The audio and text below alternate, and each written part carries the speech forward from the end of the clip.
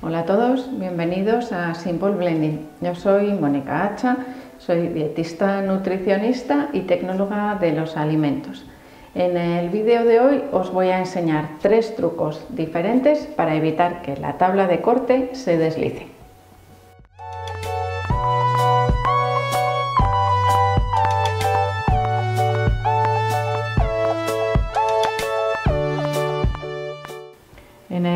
De hoy os voy a enseñar uno de esos trucos de cocina que aparentemente son súper tontos, pero que nos pueden salvar más de una vez, bueno, pues de un pequeño corte con el cuchillo, por ejemplo, o con otro instrumento que estemos utilizando.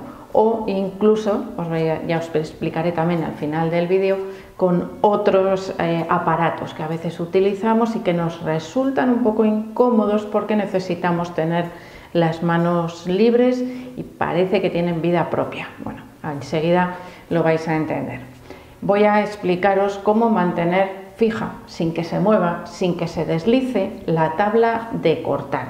Generalmente, cuando los alimentos son blanditos, no solemos tener ningún tipo de problema, pero hay veces, imaginaros, por ejemplo, que quiero sacar los filetes a un pescado, que quiero cortar una pieza grande de carne y tengo que hacer fuerza. Y a veces a la hora de hacer fuerza, la tabla se me desliza en la encimera o donde la tenga colocada. Y hoy ahí me puedo dar un susto porque generalmente esos cuchillos no suelen ser de pequeño tamaño y necesitamos que estén bien afilados.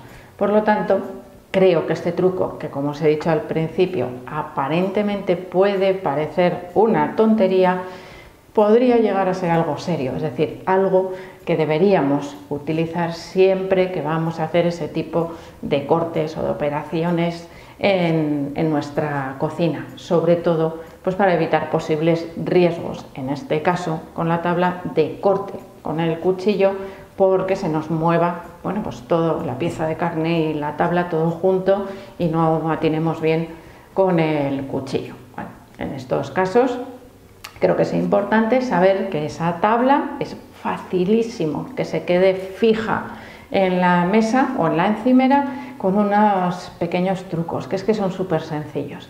Os voy a enseñar tres diferentes. Cada uno podríamos tener su utilidad.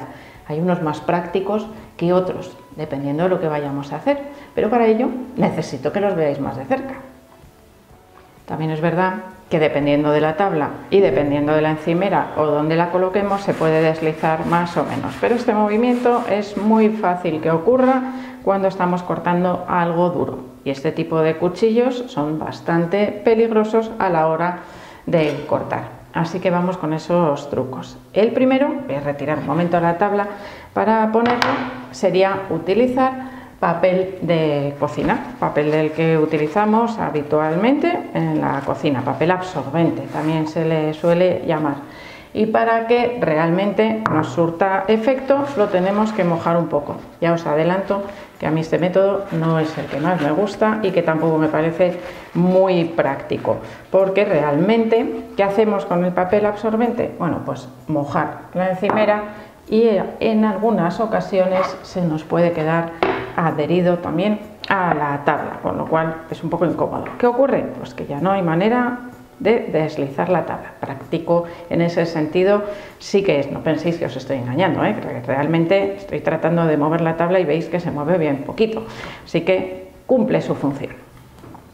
Ya vuelvo a tener aquí la tabla deslizándose, porque evidentemente no tengo nada debajo. Así que vamos con el segundo truco, que es utilizar un paño de cocina, un trapo de cocina que ponemos debajo de la tabla y de esta manera la mantenemos firme, no se nos va a deslizar. ¿Qué ocurre?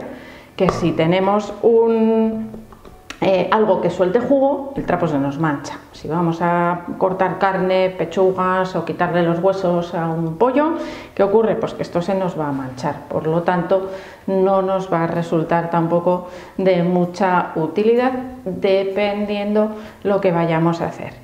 El trapo sí que es verdaderamente útil, os he explicado antes que os iba a decir otro homenaje importante. Bueno, pues el trapo es de, los, eh, de lo más útil o lo más cómodo cuando batimos, por ejemplo, el vaso de la batidora, un bol, para poder tener la otra mano libre y que no baile por la encimera, que suele ocurrir bastante frecuentemente, o que coge giro o que al final bueno, pues se va moviendo y lo tenemos que agarrar con la mano. Así que aquí tendríamos otro sistema para mantener firme la tabla. he vuelto a eliminar todo, ya tengo aquí flojita otra vez la tabla con ese riesgo de que se me deslice cuando corto. ¿Y qué voy a utilizar? Unas gomitas de colores. Estas gomitas muchas veces os doy un truco también para que aprovechéis. Las reciclo de los manojos de espárragos, por ejemplo, los manojos de perejil o de cualquier otra verdura que a veces lleva este tipo de gomas y que son verdaderamente útiles en la cocina. ¿Qué hacemos con ellas? Colocarlas debajo en las cuatro esquinas de la tabla. De esa manera conseguimos que la tabla esté perfecta. He metido en el agujero. Que esté perfectamente firme sobre la superficie que vamos a utilizar. Si queréis, ya sabéis que me podéis dejar en la cajita de los comentarios si queréis que os enseñe otros, eh, otro homenaje, ¿no? pues cómo utilizarlo para evitar pues eso, que se mueva, que se deslice o cómo poderlo utilizar más fácilmente. Bueno, en este caso, en el caso de la tabla, os he enseñado una tabla más o menos pequeñita. La que tengo debajo, que es de bambú, es bastante más grande y más pesada.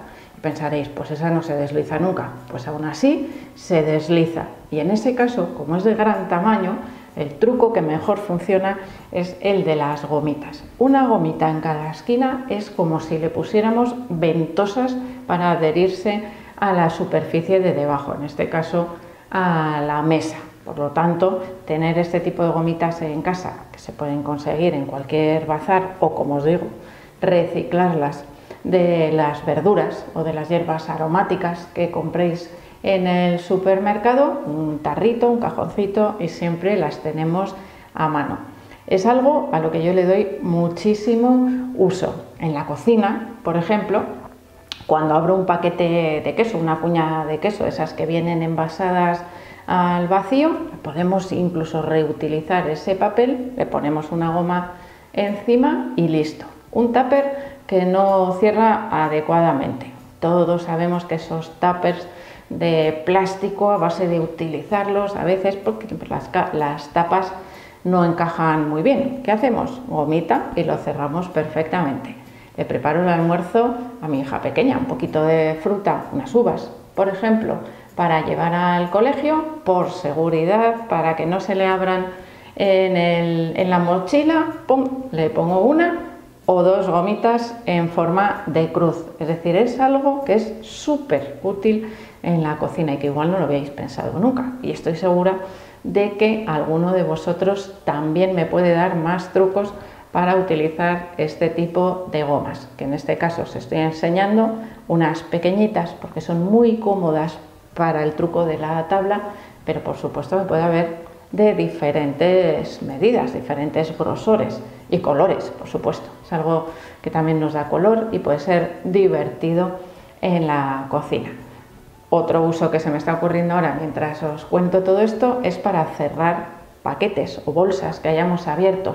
Sabéis que os recomiendo muchísimo que utilicéis verduras congeladas o frutas congeladas.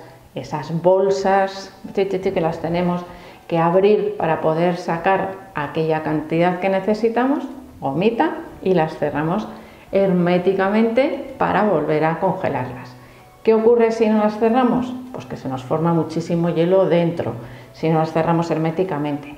Si se nos rompe la bolsa y no conseguimos cerrarla, tendríamos que cambiarlas a una bolsa de zip, de esas que os suelo enseñar yo cuando os enseño a congelar los alimentos. Pero hoy realmente, bueno, pues os estoy enseñando diferentes eh, utilidades que podemos tener para estas gomas para que no penséis que este truco de mantener firme la tabla en la superficie para que no se deslice me va a obligar a comprar unas gomas que no voy a utilizar nunca. Bueno, pues de eso nada, les vais a sacar de verdad muchísimo uso en la cocina, sobre todo si queréis bueno, evitar esos riesgos. Y otro truco con las gomas, os lo voy a enseñar ahora mismo también, este un poquito más de lejos lo vais a ver porque no pensaba enseñaroslo hoy, pero me acabo de acordar de él.